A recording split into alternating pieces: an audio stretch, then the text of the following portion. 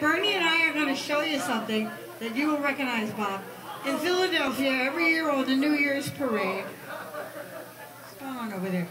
Every year in Philadelphia, they have a New Year's parade, and they play, they do the mummers strut.